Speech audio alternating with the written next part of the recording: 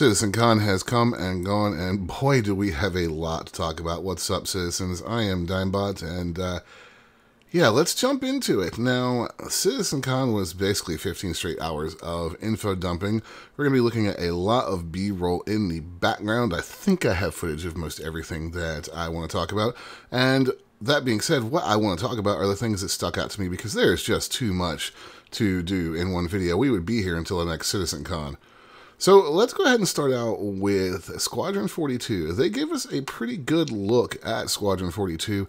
The prologue, uh, we got to see some walking around, some shooting some turrets, a whole lot of cutscenes with a lot of A-list actors, Gary Oldman, um, Gillian Anderson. It was a lot, and it was very cinematic. It was very well done.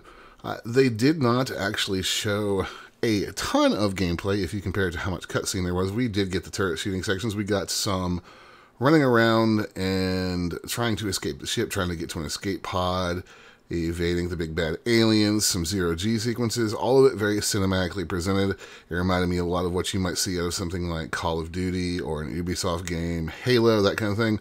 AAA stuff, really well produced. A couple weird glitches here and there. Um, we're looking at footage from the actual gameplay session they released later. Not the one that bugged out on them so much, but they did have some crashes. So yeah, the demo gods weren't real happy there. That being said, I would have liked to have seen more of the kind of stuff they showed in the montage at the end of the Squadron 42 uh, demo section. They showed a lot of highlights of things you'll be doing in the game, flying, uh, different shooting missions, where we didn't really get to see any flying except for a brief section where your character did pilot the Gauntlet, the capital ship that you were on in the Squadron 42 demo. So, coming in 2026, not coming in 2025. I can't say I'm honestly very surprised there. I wish it was coming sooner. I am excited. I do have my concerns that they may have spent a lot of money on big budget set pieces and cutscenes, but that remains to be seen, and that's also me being pessimistic, which I just kind of am sometimes. But 2026, not 2025, so we're going to have to wait a while to get our hands on Squadron 42. Moving on, let's take a look at some of the other things that they released just real quick. We had the trailer for the Starlancer. This is going to be a brand new ship that is coming out. There are currently two versions of the ship available in the Pledge Store, the Starlancer Max and the Starlancer TAC. One is medium freight, that would be the Max variant. The TAC variant is a patrol vessel. Max crew is listed as four for the Max and six for the TAC.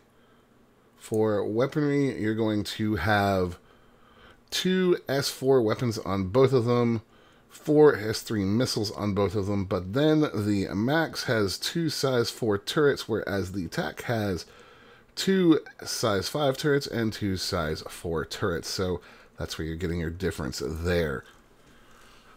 Pretty interesting trailer, showed in typical style, almost like a car commercial. Looks like an interesting ship.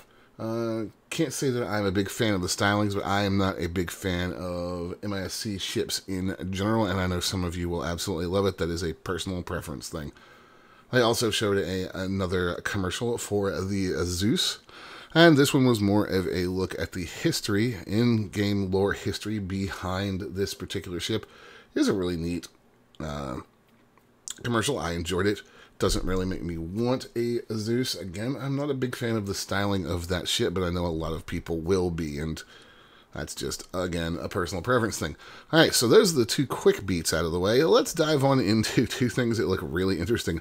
First, they started talking about some of the new systems that are coming, and this is all going to be under the general umbrella of Star Citizen 1.0. This is beyond 4.0. This is going to be a 1.0. And they started showing off things like the worm hunt, which looks absolutely insane. Looks really interesting. Massive hunt taking part on foot, on the air, and ground vehicles, combined arms. Looks really, really fun. Uh, there was some interesting little things that happened with ships spinning wildly when they got hit, but that's just collision physics being weird. But you showed the players afterwards looting the worm, grabbing teeth, mining things off of it, loading them up. That's going to be the kind of things you can go back and sell or potentially use for uh, crafting. And that is something that we will start to get into a little bit more here in just a minute because they did show us that Star Citizen 1.0 is going to take a lot of these systems and they're going to add what they call a soft nervous system to them. They're going to loop all these activities back in on themselves uh, the different guilds and things that are out there. You're going to be able to engage in story missions. You're going to be able to meet guild representatives. You're going to be able to uh, earn rank with them, which will get you perks, things that you can buy, blueprints.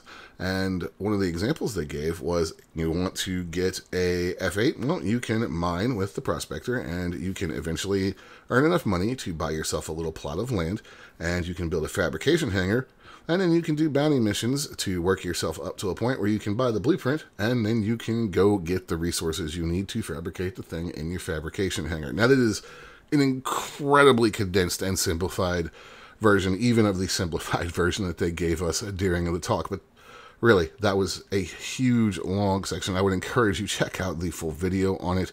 It is absolutely fascinating. But what they are attempting to do is take all of these systems and intermesh them and make it so that careers in the economy actually kind of have a point in the wider Star Citizen universe. They also showed off that in 1.0, we're going to have five star systems, including Terra. Terra is actually finally coming. We're going to have three lawful systems and two unlawful systems. Of course, in lawful systems, just as it is now, somebody can shut down the comm and then you're going to have a problem in that sector.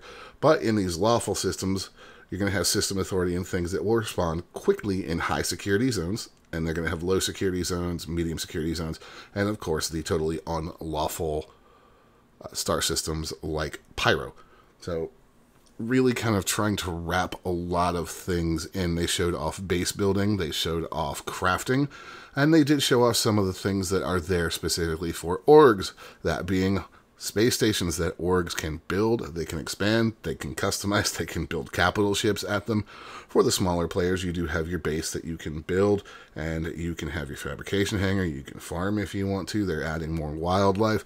It is a lot. Now, Let's caveat all this by saying that no hard timeline was given for this. 4.0 has to come first. Now, 4.0 is going to include Pyro, but no hard timeline for 1.0 and not all features are going to be readily available. They are promising that features will come at a higher level of polish, that they will be less buggy and more engaging. They're also promising that once you finish the main storyline, you will be able to get citizenship. Now, they did not detail all of the benefits of citizenship, but one thing they did tease was that citizenship will allow you to buy plots of land on planets that non citizens cannot. They did say also that the story will be kind of like a tour bus. You can get on and off as you want. Uh, they are also planning on adding things like fleet battles and things like that. So a lot of MMO-ish type things going on, which Star Citizen is an MMO, as they reinforced several times.